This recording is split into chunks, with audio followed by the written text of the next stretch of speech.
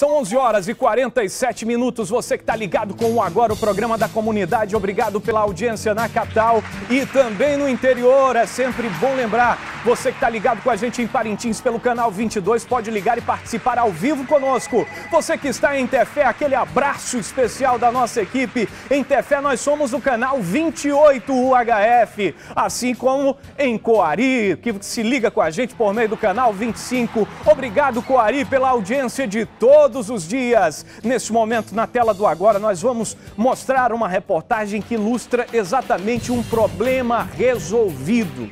Mostra que quando se tem um problema e se tem boa vontade para resolver, as coisas andam bem. O exemplo vem do São José, lá na zona leste da capital. Os moradores estavam há muito, mas muito tempo sem água canalizada e dessa vez a situação é outra. Solta a reportagem na tela.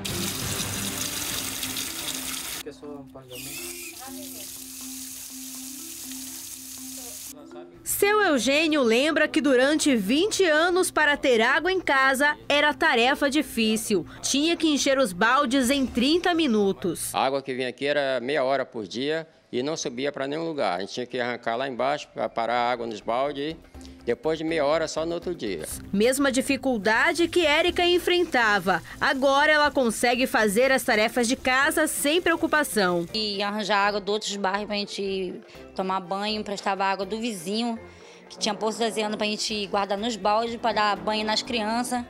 Hoje em dia tem água na torneira. A gente lava a louça e de primeiro a pia ficava lotada sem água para poder a gente não tinha água para a gente poder lavar louça tudinho, lavar roupa era dificuldade. Hoje em dia a gente pode lavar roupa semanalmente, se for possível toda hora, porque tem água à vontade. E então louça difícil ter na pia. Banho a gente pode dar nas crianças toda hora, porque agora tem umas água na torneira. De acordo com a agência reguladora, o fornecimento de água foi prejudicado depois que o poço artesiano da comunidade foi danificado. Olha, o sistema público de abastecimento de água aqui do São José 2, São José dos Campos, ele era, tinha um abastecimento precário. Era abastecido por poço, poço tubular profundo. E esse poço não tinha vazão suficiente para atender toda a comunidade. Então começou um, um abastecimento precário. Depois que a água canalizada foi regularizada, cerca de 551 pessoas tiveram as contas anuladas e os nomes limpos do serviço de crédito. Essa economia chega a 616 mil reais, segundo a Manaus Ambiental. Isso, depois que foi concluído o serviço, que estava 24 horas, nós procuramos, eu combinei com o seu Eugênio que vinha a segunda parte que era comercial. Como não havia um abastecimento regular, a agência reguladora negociou com a Manaus Ambiental que em 2014, de janeiro de 2014 para trás, todas as dívidas seriam canceladas. E o consumidor ia pagar de janeiro para frente.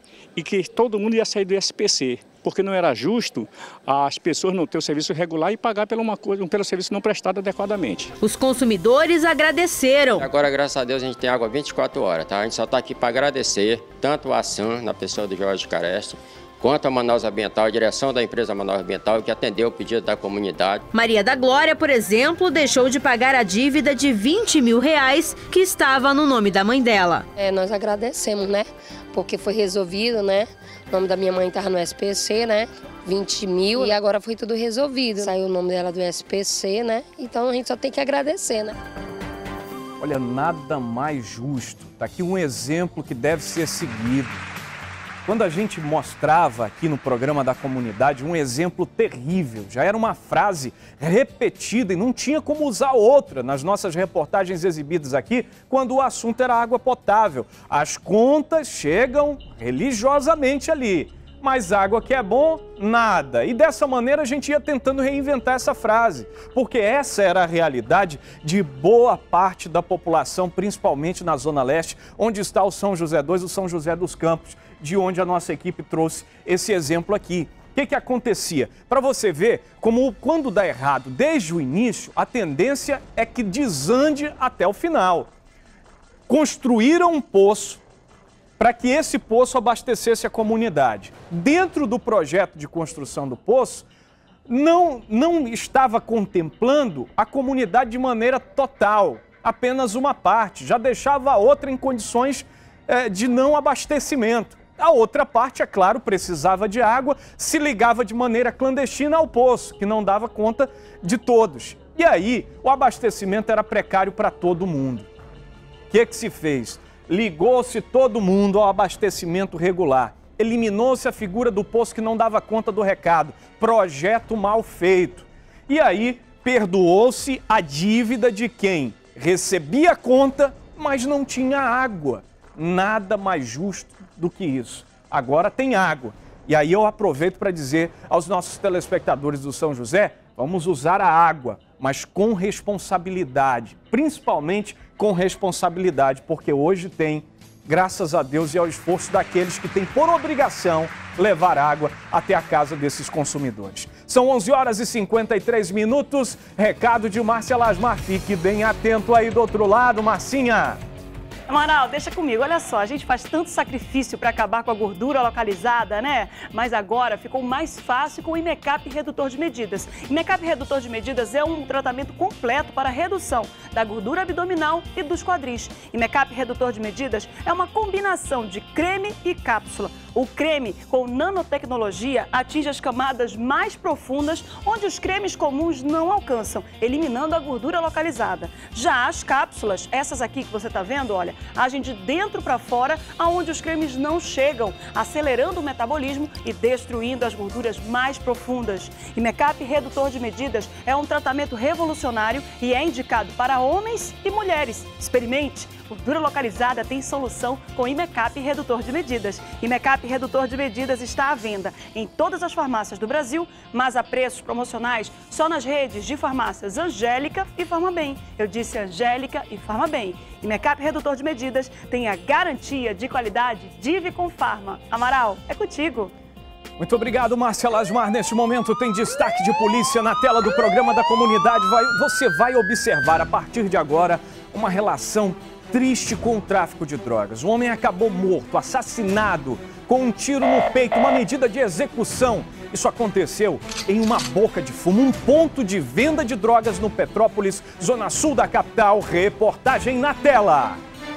Segundo testemunhas, Melquisedeque Bezerra chegou com um mototáxi na rua Leopoldo Pérez, no bairro Petrópolis, e parou em frente ao beco Almir Pedreira. De acordo com os moradores, Melquisedeque foi empurrado pelo mototáxi que atirou contra o peito da vítima. A polícia esteve no local e não quis falar sobre o caso. Melquisedeque era conhecido na redondeza por assaltar e usar drogas.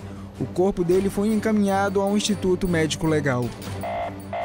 Que situação complicada. Aqui a gente observa uma relação, infelizmente, mais uma relação danosa com o tráfico de drogas. O tráfico de drogas tem principalmente é, causado muito choro e muita tristeza entre as famílias. E neste caso não é diferente, porque mais uma vida se perdeu na capital amazonense em função do tráfico de drogas, tráfico de drogas esse que tem operado na zona sul da capital em pontos de venda de drogas como este aqui. E certamente já existiu uma divergência, já existiu uma relação conflituosa que levou a esse acerto de contas. Isso aqui é uma execução. Infelizmente, é mais um cenário de execução, onde uma pessoa é abordada por outra e, de maneira fria, é morta com um tiro no peito, vítima, mais uma vez, da relação com o tráfico de drogas. Marcela Asmar. Amaral, a gente fica aqui triste, sempre pensando aqui que tudo isso pode ser evitado. Tudo isso pode ser é, essa dor, esse choro da família que infelizmente fica aí é, para enterrar o seu parente por causa do, envolvimento com o tráfico de drogas. E mais uma vez reacende aqui para gente esse, esse, esse, esse trabalho incessante da polícia que só esse ano já, já apreendeu toneladas de drogas, de entorpecentes e apreende aí o tempo todo e prende várias pessoas envolvidas com o tráfico de drogas. Porque é por causa desse crime, desse crime terrível que é o tráfico de entorpecentes, é que a gente dá notícias como essas. Notícias de execuções, notícias de crimes, de pequenos crimes com pequenos furtos que têm envolvimento de arma e acaba matando as pessoas. É por causa de notícias como estas aqui é que a polícia continua trabalhando incessantemente para coibir o tráfico de drogas. Amaral. São 11 horas e 57 minutos. A gente continua com a ronda policial do agora. E a Márcia Lasmar falou da droga como um ponto central de tragédias familiares. A gente vai trazer mais um caso como esse, mas hoje a gente vai fazer diferente. Geralmente a gente conta aqui a história, depois ouve a autoridade policial. Vamos fazer assim. Vamos ouvir primeiro o que diz o delegado. O delegado titular da Delegacia Especializada em Apuração de Homicídios e Sequestros aqui na capital, Ivo Martins. Ele começa a contar pra gente aquilo que é uma história trágica, que terminou na morte de uma pessoa e que a gente conta em detalhes depois que ele nos explicar os motivos na tela. Constam nos autos que eles tinham um relacionamento amoroso, sim, tá certo? E que, inclusive, depoimento da própria mãe, e que, inclusive, a discussão que motivou a morte foi a vida por conta do desentendimento relacionado a essa, a essa situação que ele mantinha com a vítima, né? De fato, tem a questão dos 3 mil reais, que seria, seria relacionada a produto de roubo, né? Que o, é, que o Igor é, roubava e deixava com o André, para o André guardar e tal. E tiveram uma discussão motivada por álcool, droga e tal no dia dos fatos. Né? A vítima teria pego uma faca e partido para cima do, do Igor. O Igor, então, para se defender, é, travou luta corporal e acabou estrangulando o André em cima da cama, né? André Teixeira Gonçalves, 39 anos. É o nome da vítima. O algoz, aquele que cometeu o homicídio, é o Igor. Coloca o Igor aí. O Igor Ismarley. Tá aí ele na tela. O Igor é sorridente, Marcela Asmar. É daqueles que se abre diante de uma pergunta. Gente boa! É. Aqui ele ainda tá meio tenso, mas tem imagem dele que ele tá só uma gargalhada. É vaidoso. A princípio negou ter um relacionamento conjugal, amoroso com a vítima, mas tinha quem confirmou isso. Foi a própria mãe dele. A mãe dele confirmou esse relacionamento amoroso e observe só os elementos de mais um crime trágico. O Igor, ele é suspeito de ter simplesmente, Marcela Asmar, é, asfixiado a vítima, é, né? Ele estrangulou a vítima e disse que fez isso porque foi cobrar uma dívida. Só que, na verdade, ele tinha um relacionamento amoroso com a vítima dele. Um relacionamento motivado por crimes. Ele confessou à polícia que roubava, que praticava roubos e que o resultado desse roubo ele passava para o André Teixeira e que o André se encarregava de vender o roubo e depois dividia o dinheiro com ele. Essa era a relação comercial. E depois tinha a tal da relação amorosa. O resultado disso é que ele também é usuário de drogas. E motivado por essas, por essas condicionantes, ele acabou tirando a vida de uma pessoa inocente e agora vai responder pelo crime de homicídio qualificado, Marcela Asmar. Amaral, lembra que a gente aqui quando está conversando sobre é, essas amizades, como você mesmo aí está colocando, é, é, relações que são iniciadas por meio de crimes, com envolvimento de tráfico de drogas, de uso de droga.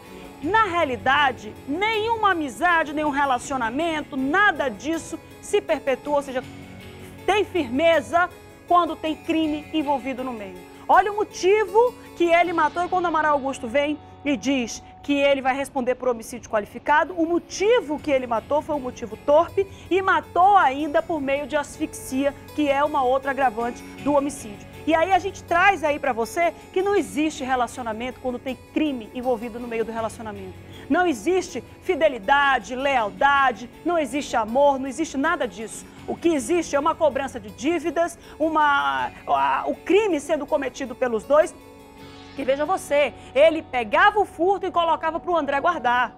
Olha só a situação. É ele roubando e o André recebendo. Então a gente vê, acompanha tudo isso aí, no, vendo que no crime não tem lealdade, não tem amor, não tem correção, não tem fidelidade, não tem isso. Só tem morte e sofrimento. É isso que tem no crime. E infelizmente, na maioria das vezes, na maioria, em quase 90% dos casos que tem no crime, é morte e homicídio, como a gente está trazendo aí, infelizmente. E aí ele, no caso aqui, ele aqui, o, o, Ismael, não é isso, Amaral? Traz aí para você mais um assassinato.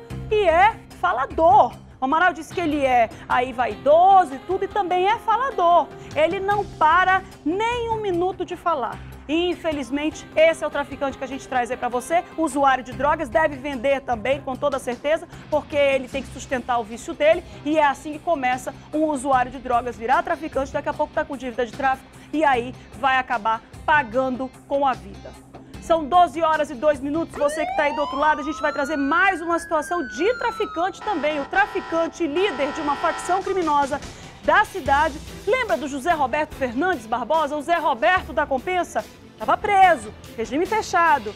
Só que ele fez uma cirurgia no joelho. E aí, por causa disso, ele vai responder agora, vai cumprir uma parte da pena dele em casa.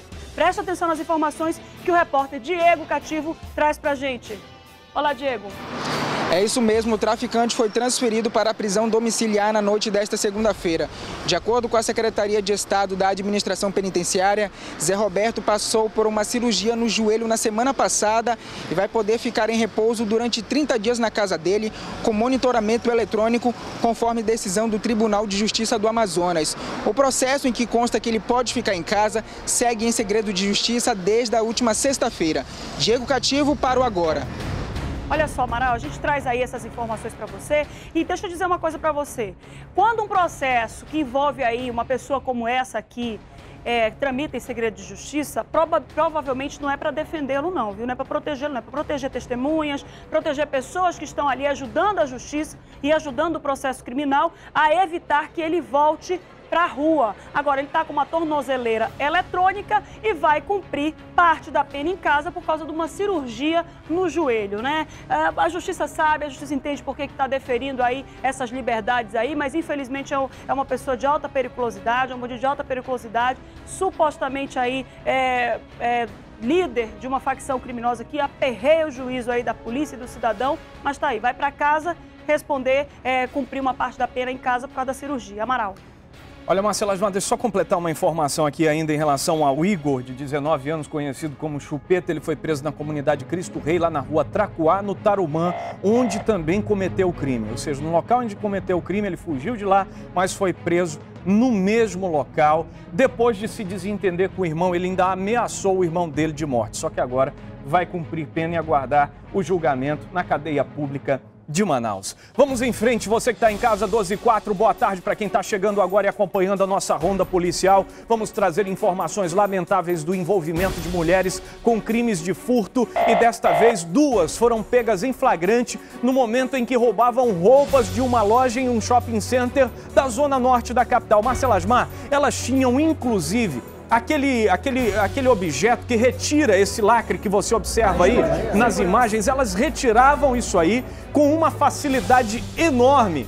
E por meio disso acabaram acumulando quase 6 mil reais em roupas, achavam que iam sair do shopping desapercebidas e iam dar um tombo desses em uma dessas lojas de roupa ali na zona norte da capital. Quebraram a cara. As duas são Alduíce do Nascimento e Rocicleia Cruz. Essas duas que vocês estão acompanhando aqui, quase. Foi por pouco que elas levaram 6 mil reais em roupa. Iam dar um prejuízo enorme para o comerciante que numa situação dessa, momento dessa de crise generalizada que todo o Brasil está vivendo, ia fazer muita diferença, ia fazer muita falta, mas ainda bem que a segurança e a polícia atuou ali na hora, rapidamente. Você vê aí que é um policial militar que está dando flagrante, portanto, apreendendo material objeto do roubo, inclusive o suporte ali que faz, facilita a retirada desse dispositivo eletrônico. As duas negam esse dispositivo de segurança, as duas negam que tenham cometido, viu, Amaral, esse furto, mas as câmeras de segurança que hoje em dia tem em qualquer lugar e em todo momento não é, desmentem o que ela acabou dizendo, porque elas realmente cometeram esse furto, Amaral. Sabe o que chama a atenção, Marcela Asmar? É a cara de pau, né? Porque elas saem com 6 mil reais em roupas de uma loja, shopping. A segurança aciona a autoridade policial, a polícia consegue abordá-las. No momento da abordagem policial, elas dizem: não, a gente comprou a roupa. Tá, a gente comprou. Aí o policial diz o seguinte: tá bom, vocês compraram? Então me mostra a nota fiscal. Ah, mas não tem nota, acho que perdi. Ah, mas não tem a nota fiscal. Não, mas a gente não roubou, não tem nota fiscal, mas a gente não levou a roupa. Ah, é? Não levaram, não? Então as câmeras de segurança que mostram vocês fazendo o trabalho sujo é, são objeto da nossa imaginação. Aí, literalmente, no jargão policial, a casa caiu e as duas foram flagranteadas. Márcia Lasmar, que cara de pau, Cara né? de pau, Amaral. Não existe mais. Hoje em dia não tem mais como você negar. Tá em loja, todo o circuito de segurança das lojas aí estão acionados. O dispositivo tá ligado justamente com alguém, na maioria das vezes, que aí sim, o, o- o circuito de, cinegra- de, de, de filmagens e de segurança, ele é efetivo se tiver alguém monitorando. Porque depois que acontece o, o crime, né? Depois que acontece o furto, fica mais difícil pegar ali os autores do delito. Então é importante que alguém fique monitorando ali o circuito de segurança para chegar na hora, para a polícia chegar na hora. E foi o que aconteceu com essas duas aqui, que vão responder pelo crime de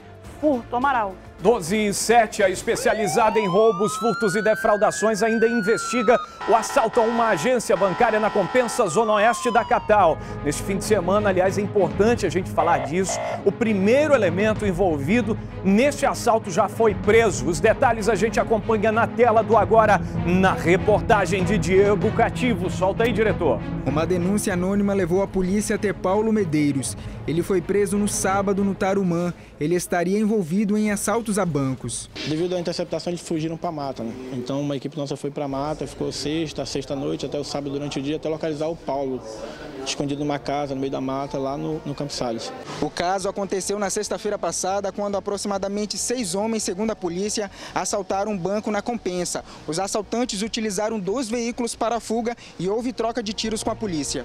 Nós mencionamos aí a participação de aproximadamente seis indivíduos nessa ação, tendo em vista que dois ficaram fora e quatro entraram na agência bancária.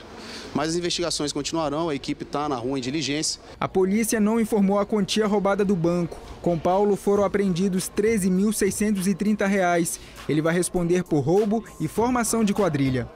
O Paulo é só a ponta do iceberg, né? Tem muita gente ainda que vai ser responsabilizada e vai acabar sendo preso nas próximas horas, porque esse é o resultado do trabalho de diligência que faz a especializada em roubos, furtos e defraudações. Já existem pistas que levam até eles e é uma questão de tempo, como falei, para o restante da quadrilha acabar presa. Isso é resultado de investigação e é assim que precisa agir a polícia em casos como esse, porque a resposta efetiva e a prisão acaba desencorajando outras quadrilhas a cometerem o mesmo tipo de crime. Isso é resposta de segurança que inibe a criminalidade e mantém o cidadão mais seguro. 12 e 9, boa tarde para você que está chegando agora. Fique atento, Márcia Lasmar vem aí trazendo dica, recado na tela do programa da comunidade para você. É comigo, Amaral. Já está mais do que comprovado que o ômega 3 promove vários benefícios à saúde. Então comece agora a tomar o ômega 3 da Divicon Pharma. O ômega 3 da Divicon Pharma auxilia na proteção contra as doenças cardiovasculares, processos inflamatórios e ajuda a diminuir o risco do desenvolvimento de alguns tipos de cânceres. Traz benefícios para o sistema imunológico e ainda pode ajudar a melhorar a concentração e a memorização. E não é só isso. O ômega 3 da Divicon Pharma tem o melhor custo-benefício do mercado. Na compra de um pote como este aqui, você ganha 50% a mais e não paga nada a mais por isso. Tá esperando o quê, hein? São muitos benefícios do ômega 3 da Divicon Pharma. Você que toma ou precisa tomar o ômega 3, experimente o ômega 3 da Divicon Pharma. Nele você pode confiar. Agora você já sabe. Ômega 3, sol da Divicon Pharma. Não aceite outro. Troque de farmácia, mas não troque de produto, viu? O, Divicon, o ômega 3 da Divicon Pharma está à venda em todas as farmácias do Brasil, mas a preços promocionais nas farmácias Angélica e Farmabem. Eu disse Angélica e Farmabem. Amaral, é contigo. 12 e 10, intervalo rapidinho. Daqui a pouco a gente volta com muito mais informação e comunidade para você. Até já!